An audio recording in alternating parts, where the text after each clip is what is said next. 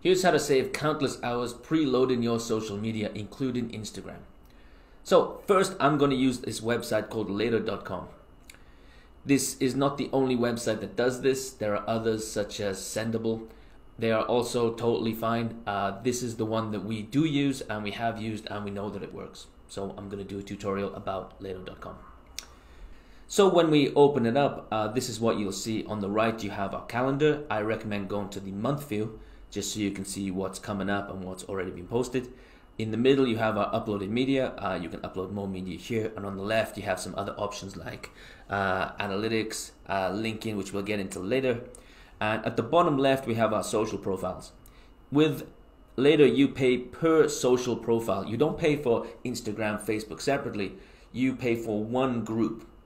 So if I'm going to use this Easy ESL Games profile here, uh, I'm going to choose the right one so we don't post to the wrong business. At the top here, we have this plus sign. Here we can add our other social profiles. Currently, in June 2021, later can do Instagram, Facebook, Twitter, Pinterest, TikTok, and LinkedIn. Uh, that might change, of course. So I'm going to go to one of our other profiles, and you can see that these ones that you can clearly see, those are the ones that have yet to post.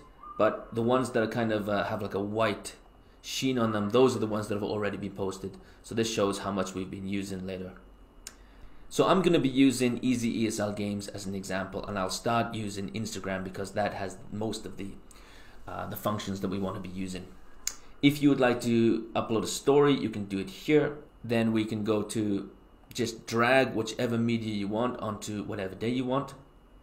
And from here, we can change a bunch of stuff. So this is a very short video. It's like five seconds long. This is the end screen from the video you're currently watching. I just uploaded it as an example.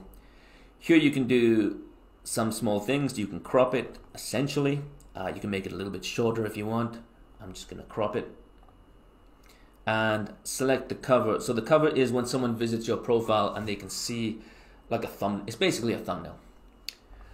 I don't want the beginning of it because that doesn't show what I want. I'm gonna go here and this just tells you that if you'd like to see more videos you can go to adronin.com slash blog. I'm gonna update that cover. At the top here you can choose when it's gonna publish. Auto publish means it will automatically publish. It'll send you a notification but you can just relax and it'll do it by itself. Uh, if there's a problem then it will also tell you that it has not published. So that's quite useful. If you change the send notification, then it will just send you a notification and then you can use the app on your phone to publish it. It'll open up Instagram and it'll take you through like three or four steps. It takes about 20 seconds to do it. Here you can also change the date. Uh, please bear in mind that it is time zone specific, so you can change which time zone you're in down the settings in the bottom left. Uh, post caption. Here you can write your caption caption. With Instagram, of course, you need some hashtags. One useful thing on later is you have the hashtag suggestions. So I'm gonna, I'm gonna, uh, what color should I put banana? And my topic is bananas, and it'll give me some hashtag suggestions for bananas. You just click on the check, insert, and there they are. Done. If you think that these hashtags are so good that you want to use them again, Go to saved captions just below. Copy current text as saved caption. Give it a title. Captions. and I want to edit this slightly. Save it.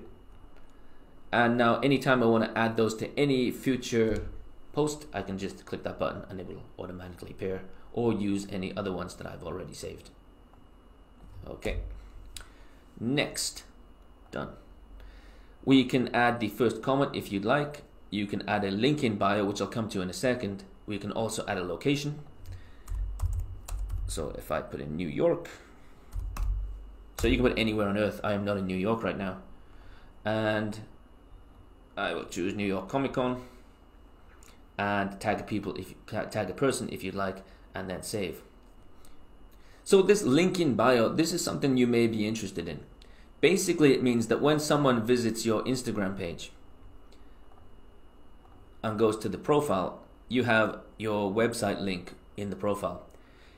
you can change this so that it becomes like an extra page like this where each post becomes clickable and can go to a website of your choice or a web page of your choice. To set this up, we need to go to link in bio on the left here and we can go set up. You can customize the page slightly here. This one is just information.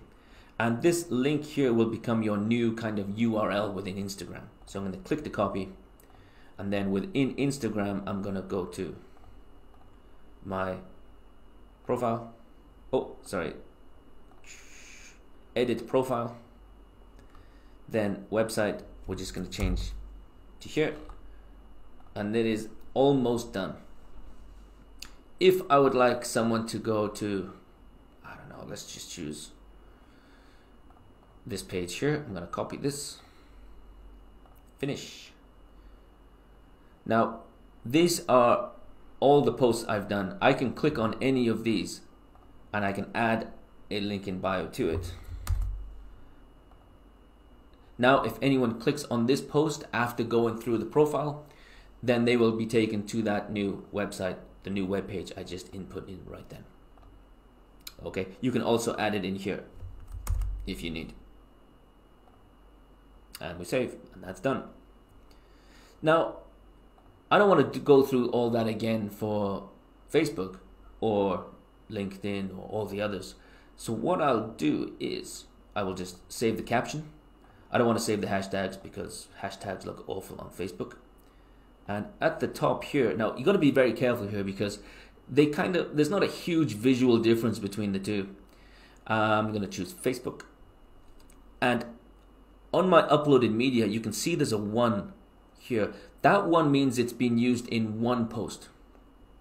So if I'm going to drag it to whichever day I want, I'm going to post the caption, change the time, save, and that's done. And you see now that is being used in two, two posts. And that is basically how you save countless hours by preloading weeks or even months worth of social media ahead of time.